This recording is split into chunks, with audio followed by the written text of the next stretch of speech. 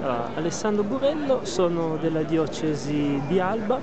e sono qui perché penso che solo in questi momenti di comunità si possa veramente vivere il vero spirito della Chiesa ed essere parte di un piccolo pezzo della Chiesa e camminare con la Chiesa per renderla migliore, per poter aiutare e migliorare il nostro paese sia veramente una cosa importante e quasi un dovere per un buon cristiano partecipare.